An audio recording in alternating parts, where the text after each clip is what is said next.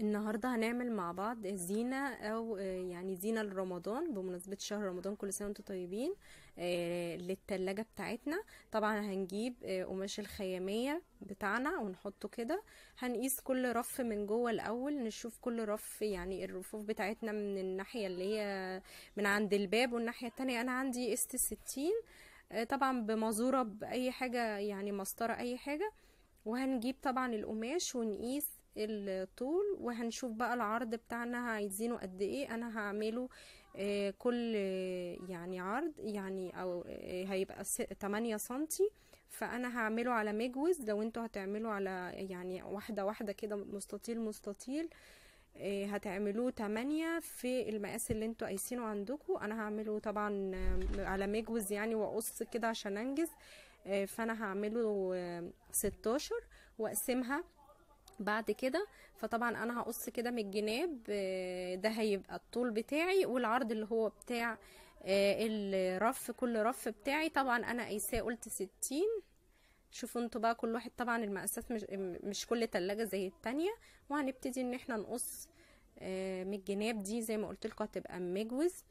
وهقصها أخليها يعني عشان أنجز كده في وأخلص بسرعة. آه، طبعا آه، أول حاجة برضو عايزة أقولها لكم إن أنتوا آه، لو الفيديو عجبكم ما تنسوش تعملوا like و share و...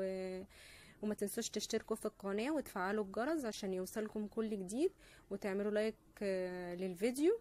وكمان آه، هتلاقوا حاجات كتير منزلها عن رمضان على القناة بتاعتي. طبعا أنا كده آه، عملته زي ما قلت لكم وقصيت.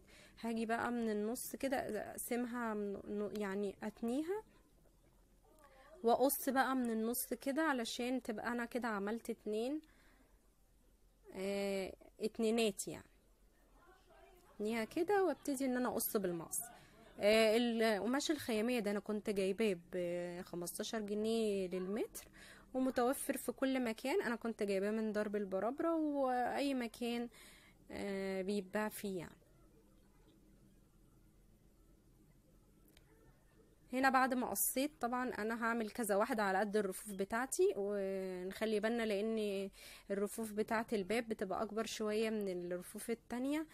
هنا هعمل دي لل آه، نفس المقاس برضو هعمله بقى للتلاجة من بره بس هعملها زي فستونات كده. هجيب طبق آه، زي يعني طبق كده أي طبق موجود عندكم ومعلمه علامات كده بحيث إن أنا اخد شكل التدويرة اللي هي ال- اللي أنا عاوزاه عشان كله يبقى مقاس واحد وهحط كده واجي بالقلم واعلم. طبعا من الظهر بنبقى قلبين القماش على الظهر ونعلم بالقلم. نعمل دايرة. طبعا إحنا بنعمل بس حتة كده يعني تدويرة صغيرة زي ما أنا قلت لكم. مش هنعمل مش هناخد التدويرة كلها. وهعمل بقى كل ال ال ال يعني القماشة دي بنفس الطريقة كده. أنا كنت عايزة أعمل نفس الشكل ده في آه، التلاجة لرفوف التلاجة بس للأسف الشريط اللي أنا هزين بيه آه، للأسف عندي ما كانش كتير فما كانش هيكفي إن أنا أعمل فستانات. طبعا بتاخد أكتر من لو أنا هعمله فعشان كده اضطريت إن أنا أعمله من جوه يعني من غير أي شغل آه، علشان كان عندي تقصير يعني في الخامات. بس كان نفسي أعملها كلها بنفس الطريقة كده كانت هتبقى أحلى. فأنتوا ممكن تعملوها بنفس الطريقة يعني أنا وريتكم أهو الطريقة بتاعة الفستانات بتتعمل إزاي واللي عايز بقى يعمل كله من جوه ومن بره بنفس الطريقة مفيش مشكلة. طبعا أنا بعد ما عملت التدوير آه، التدويرات اللي بالطبق هبتدي إن أنا أقصها أقص الزيادات. أهو زي ما أنتوا شايفين معلماها بال- بالقلم أهي وبقص بقى مطرح ما علمت. بالشكل ده كده.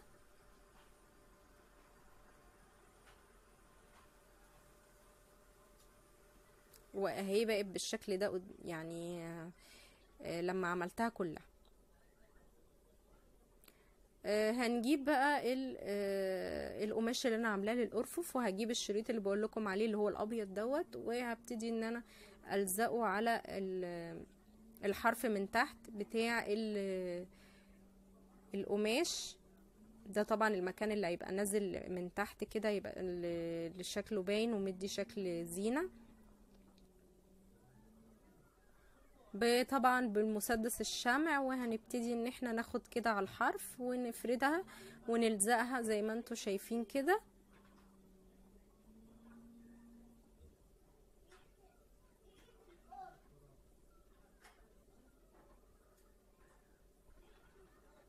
طبعا هنعمل كل ال- الارفف بتاعتنا بنفس الطريقة.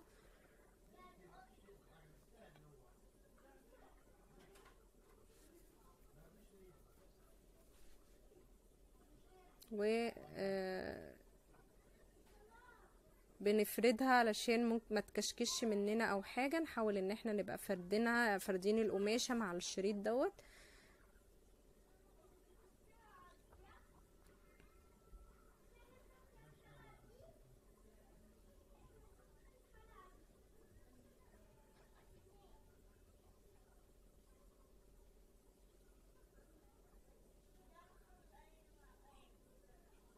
بعد كده هنقص الزيادة وهنجيب برضو هوريكم برضو اللي هي آه، اللي فيها الشكل التدوير ده. هوريكم برضو هنعملها إزاي. دي زي ما قلت لكم أنا عاملاها لبره للتلاجة من بره. آه، حابين تعملوها من جوه هيبقى حلوة برضو وجميلة. بس أنا زي ما قلت لكم عرفت يعني اضطريت إن أنا أعمل من جوه آه، مش هعملها نفس الشكل ده علشان الخ... يعني كان يدوب على القد يعني. أنا عملت ال... اللي أنا عملته ده ويدوب كفت بالعافية. فللأسف كان نفسي أعملها نفس الشكل ده كانت هتبقى أحلى بكتير.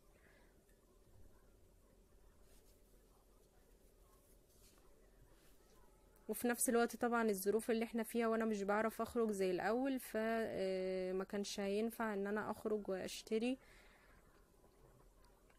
فاضطريت أعمل بالمتوفر عندي.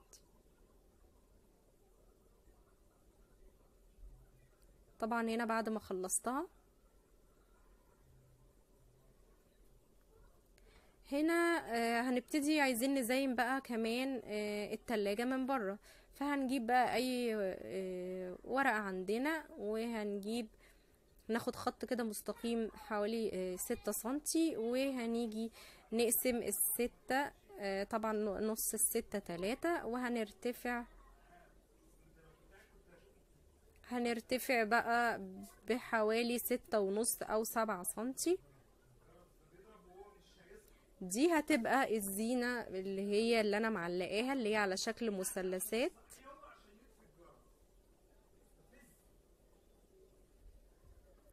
وبعد ما طلعت طبعا بالستة ونص سنتي هبتدي إن أنا آخد بقى شكل طبعا أنا طلعت من النص هعمل المثلث يعني أنا بوريكم مقاس المثلث اللي أنا عملته.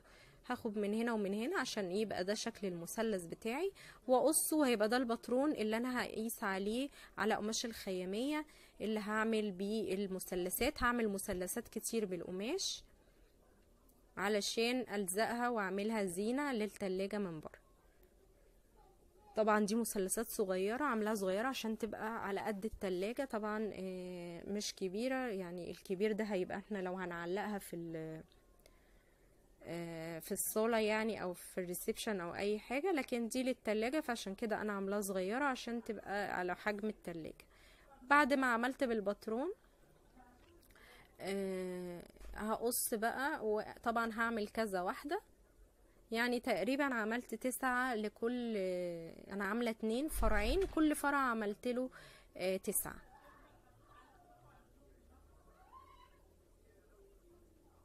وبعد كده طبعا بعد ما بعلم بقص زي ما عملنا مع بعض من شوية وطبعا آه، ده اللي هيبقى شكل المثلث والحجم بتاعه وأنا هعمل كذا واحدة زي ما قلت لكم هعمل 18 واحدة تسعة وتسعة.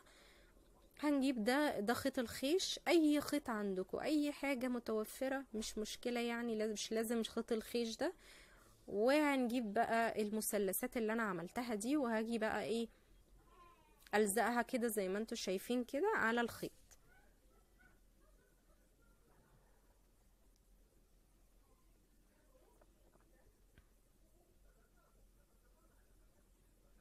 هنلزقها على على الخيط أحسن من نلزقها يعني على القماشة هيبقى أسهل لنا ومش هنتلسع من الشمع عشان بيبقى سخن. هحط كده على حرف الخيط اللي إحنا جايبينه.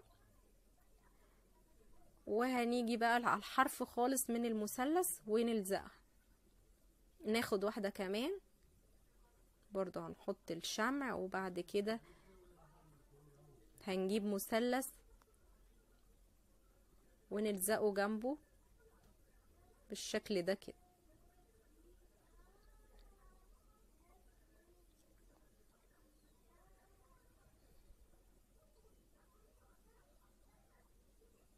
واحدة تالتة برضو.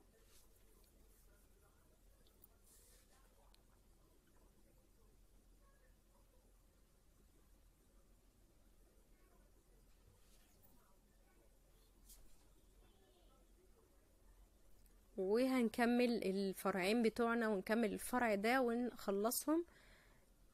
ويبقى بالشكل ده كده أنا عملت فرعين الزينة بتوع التلاجة من بره. بعد كده هجيب دي كانت يعني بتاعت صلصال بتاعت ولادي أنا قطعتها طبعا بقصتها بالمقص. لو عندكم كوباية أي حاجة هتستخدموها. قصيتها نصين وهلزقها بالشمع كده من الحروف؟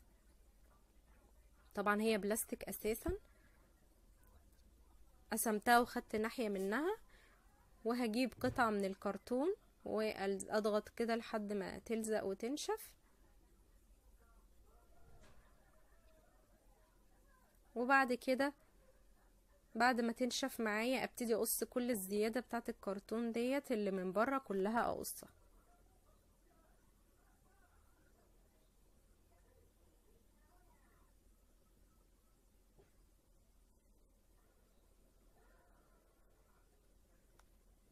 بعد ما قصيتها هجيب آه، حتة قماش من الخيامية وأجي بقى على ال- اللي هي ال- القطعة ال- يعني قصدي ال- الكوباية اللي أنا عاملاها دي اللي هي تبقى يعني زهرية الورد.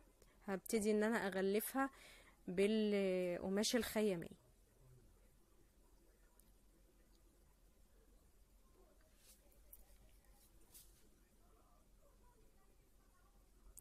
هنلزقها كلها طبعا. هنا بعد ما لزقتها كلها وخلصتها. من ورا مش مشكلة إن من ورا هيبقى آه، يعني مش باين. ولزقت عليه كمان الفرع ده اللون الأخضر وكان عندي باقة ورد كده صغيرة لزقتها عليها. وده بقى هنجيب حتت كده من من المغناطيس. لو إحنا ما عندناش مغناطيس ممكن نشيله من اللي هي اللي بنلزقهم على التلاجة دول آه، في بي في منهم بيتكسروا أو بيحصل لهم حاجة ممكن ناخدهم منها ونلزقها. ده كان عندنا يعني وأنا حبيت بقى إن أنا أعمل أشكال لرمضان. آه، دي كبيرة هنحط لها كذا واحدة. هنحطها هحط لها واحدة ويعني حو- حوالي تلاتة واحدة في النص واحدة من فوق واحدة من تحت. آه، وألزقها بقى على التلاجة. هنيجي هنا بقى للفوانيس. الفوانيس أنا رسمت شكل فانوس كده بإيدي يعني حاجة كده يعني بسيطة جدا وبعد كده عملت منها اتنين قطعتين من الكرتون نفس الشكل وجبت برضو آه، قماش الخيامية وهجيب الشمع والزقه على الكرتون أحط. آه، قصدي الشمع على الكرتون وبعد كده أجيب القماش والزقه على ال- الكرتون بتاعي طبعا زي ما قلت لكم المغناطيس ده إحنا أنا يعني كان عندنا في بقى اتكسروا في بتاع مش عارف إيه بناخدهم وبنستخدمهم بقى في حاجة تانية نعمل بيها حاجة تانية مش بنرميهم. بعد ما لزقت ال- الفانوس كله ونشف معايا هجيب المقص وأقص كل الزيادات اللي طالعة دي القماش الزيادة ده كله هبتدي إن أنا أقصه.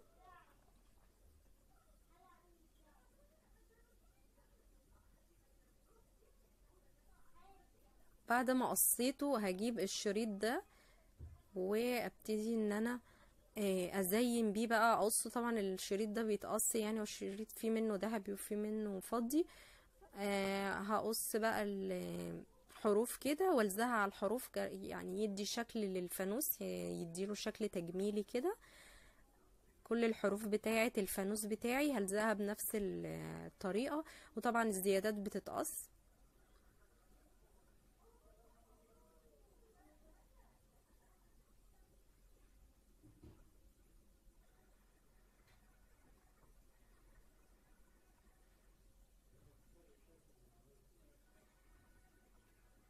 أتمنى لو الفيديو عجبكم ما تنسوش ال like لأن ال like بيرفع الفيديو. لو أنتوا عجبكم الفيديو آه تنسوش تعملوا له like و share. هنا بعد ما خلصت وطبعا لزقت كمان في الجناب عشان ما يبقاش شك... باين شكل الكرتون بتاعها من الجناب فلزقت لها برضو نفس الطريقة. وهنا آه هنلزق بقى مع بعض الزينة بالشمع طبعا أنا بقى عشان يعني لزقتها أنا بنفسي كده بس أنا وريتكم طبعا لزقت من هنا من الحرف ده كده بالشمع من فوق ومن هنا وهنا بقى ال- الزهرية اللي عملناها والفوانيس. حاجة بسيطة جدا وغير مكلفة خالص وهتدي شكل وروح حلو يعني روح حلو كده لرمضان. آه، وهيبقى شكلها حلو في المطبخ بتاعنا. وهنجيب كمان الشريط دوت. وهنلزق.